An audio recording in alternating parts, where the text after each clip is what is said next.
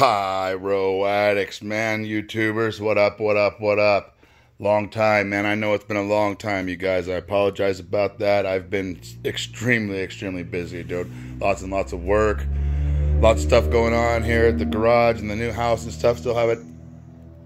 Got the pyro cave all set up yet. Still have a lot, a lot of work to do. See, just a few things. Just thought I'd give you guys a quick update about things. I Wanted to tell you I got my first time I'm doing barbecue.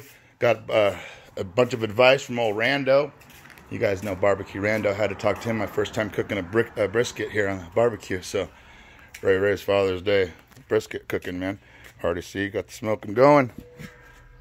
Oh, yeah, gonna be good. a long day ahead of me. It's gonna be worth it at the end, that's for sure. And just more videos throughout the day, let you guys see what's going on. Went yesterday on a pretty long little drive.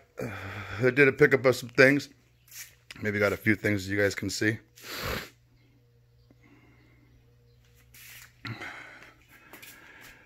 One more pickup next weekend, I think, probably, and then it'll be time to start doing things.